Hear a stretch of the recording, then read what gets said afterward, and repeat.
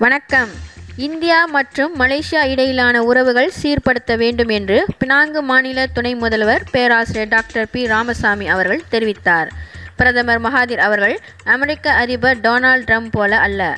காரணம் கடுமையான அறிக்கைகளை வெளியிட்டாலும் அமெரிக்கா போன்ற வல்லரசு நாடு எதிர்கொள்ளும். ஆனால் மலேசியா நாட்டின் நிலைமை அப்படி அல்ல என்றார் பேராசிரியர். பிரதமர் துன் மகாதிர் அவர்களை நான் இந்தியாவிடம் மன்னிப்பு கேட்க வேண்டும் என்று கூறவில்லை.